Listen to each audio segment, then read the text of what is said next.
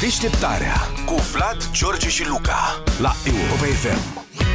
Treceți și la transporturi, dacă se poate. Fiți atenți, avem pe Ia. categorii. Deci, o dată avem pentru persoane fizice tarifele de referință, Așa. pe categorii de vârstă și pe categorii de mașini motoare mai mici, mai mari.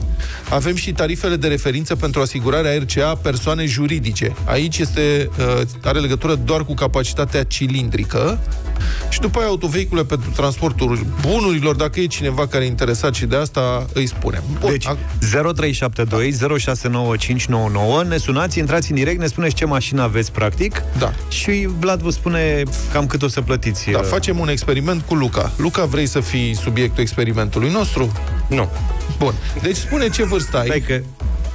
Nu vrei tot aia, spune ce vârstă ai. 43 neîmpliniți. Deci, între 41 și 50 de anișori este un domn cu un costum gri și cravat aici în poză, la ASF, ceea ce nu cred că ești tu. Dar asta e. Zi capacitatea aia lila. 2 litri. 2 litri ai? Da. Adică peste 2 Nu, litri? până în 2 litri. A, deci ești, te încadrezi la 1800-2000 de centimetri cubi. Da. Tariful tău de referință la RCA, 1445 de lei. Tarif de referință. Da. S-ar putea să fie mai mic, s-ar putea să fie mai mare, în funcție de ce drăcie ai făcut cu mașina, dacă ai mai lovit-o, dacă nu știu, dacă ai relație veche cu asiguratorul. Dar tariful de referință este 1445 de lei, îți imaginezi? Și voiai să-ți iei mașină electrică. Mașina electrică, tariful de referință 1509 lei la categoria ta. Ah, La la mă mine? așteptam să fie mai ieftine astea. Da, sunt foarte mari. George, bună dimineața! Salut, George! Salut, Bună George. dimineața, băieți. Bună Sa- dimineața. Bună ziua! Dacă Uh, vrei Conduc să... un bolid, Da? uh, 1,4 litri, 1200-1400, da? Ce vârstă? uh, 31. 31-40 de ani, Și având 1100... în vedere Da. că sunt și la a doua, a fost mașina pe firmă și de-abia e M8 sau M1, nu știu cum sunt categoriile alea. Stai că spun. Deci ai 1123 de lei tarif de referință acum pentru bolidul tău. 1100, ok. 1100. Și la uh, asigurarea RCA persoane juridice pentru 1200-1400 de centimetri, 1527 de lei. 1527 de lei dacă ai mașina pe firmă. Tarif de referință. Mamă, mamă. Înțelegi? Succes, George! O mulțime de oameni au mașinile pe firmă. Sper că dai tarifele bune, că se duc oamenii o E să că e te mai cer. scump pe firmă, nu? Da, da, întotdeauna. Bogdan, bună dimineața! Salut, Bogdan! Bună, Salut. Di- bună dimineața, vă salut. Uh, Bun. Fără marca mașinii, nu decât capacitate. Sigur, Capacitate doar și capacitate. vârstă, atât. Da, sunt uh, la 49 de ani și capacitatea 1.6. 1600, 1265 de lei. Tariful de Ah. referință RCA, 1265. Bă, mi se pare uluitor pe cuvântul meu, adică sunt foarte... Nu, e, nu ți se pare mult? Ba da, Robert, bună dimineața! Salut, Robert! Bună dimineața! O, Dar- mică, o mică paranteză aș vrea să Da. fac. Și eu și soția, până anul trecut, în decembrie, am avut mașină de serviciu. Da. Ne-am achiziționat o mașină de serviciu, conducând, să zic, undeva la peste 70.000 km pe an. Da. Stupoarea a fost în momentul în care ne-am luat mașină, uh, motorul e de 1 uh, și a trebuit să plătim RCA-ul. Da. Noi ne așteptam undeva la 600 de lei, cam așa era baza de calcul, Mhm. când acolo ne-au lovit cu 1400-1300 de lei pentru faptul că noi nu aveam uh, anii, uh, nu știu cum să zic, N-aveai B1, bonus. B8, bonusul Da, acela. A, că era de la Dacă început, mă da, ra- așa e, așa e. Da. în condițiile în care conducem amândoi de atâta timp. Deci, da, practic, noi da, e acum mașina firmei. Asta este, e mașina firmei. Știu că așa se întâmplă. Când îți iei prima dată mașină pe firmă, plătești mult. Vrei să-ți spun, Ok. e mașină pe firmă sau... Da. Nu, e mașină personală, motor de 1,42 de ani.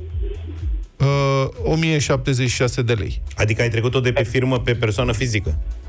Nu, nu, nu. alta. Uh, mașina de firmă, am schimbat jobul, să zic așa, Ah, ok, și ok. a trebuit să-mi cumpăr mașină. Bine, Robert, îți mulțumim. Florin, bună dimineața! Salut, Florin! Bună, bună dimineața! Salut. 33 de ani, uh, 2 litri, 2, 2000.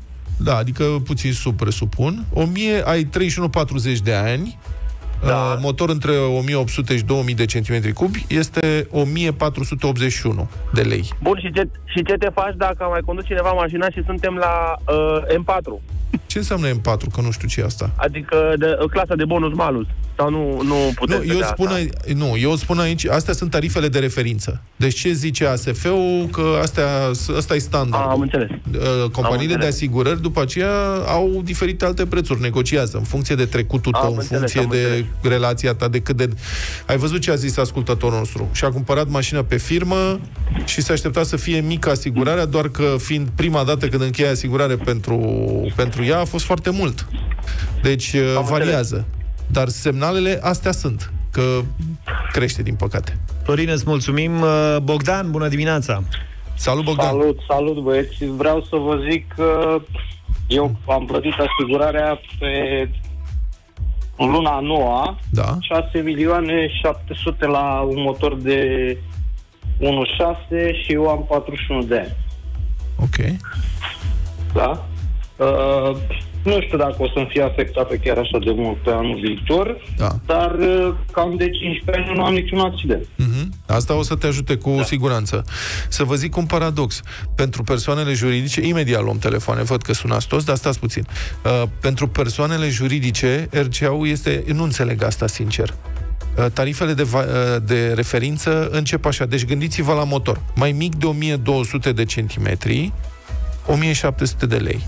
După care, 1200-1400 de centimetri, 1500 de lei. Uh, motor 1400-1600, preț 1400 de lei. Deci scade, scade, scade, scade până ajunge la 2000. Și la 2000 de centimetri începe să crească și cea mai scumpă asigurare RCA, uh, tarif de referință pentru persoane juridice, este la mo- mașini electrice. 2736 de lei. Dar de RCA. ce? Nu știu. Deci, 2736 de lei în condițiile pentru mașină electrică, în condițiile în care cea mai scumpă este pentru motoare termice de peste 2500 de centimetri cubi, 1895 de lei. Deci e cu aproape 1000 de lei în plus față de cea mai scumpă asigurare pentru motor termic. Bizar. Da. Adică m-aș fi așteptat să fie la fel, că până la urmă... Da, nu, nu înțeleg de ce e diferența Hibridul unde intră? asta. Uh, nu știu, bună întrebare. Aici scrie- Mihai, bună dimineața! Salut, Mihai! Bună, Bună dimineața, salut, salut. bună dimineața. Este altul gradul de risc, ca să vă răspund. De ce te Când curent? ai o mașină pe firmă, Da? nu, pur curent, da. Uh, pentru că atunci când ai o mașină pe persoană juridică și o folosești, interesul firmei înseamnă că circul pe ea mult mai mult. Știi ce înseamnă să lovești o mașină Nu, cu nu. motor electric? A, ce Nu, că problema sunt- se pune nu, la, Imaginați. nu între firmă și persoană fizică, ci între electrică și Asta încerca termică. Să, să-ți explice. Da, între electrică și termică, aia vă explicam. Aia vă explicam. Înțelegeți că atunci când lovești una electrică, pe aia aproape că o schimbi cu tot.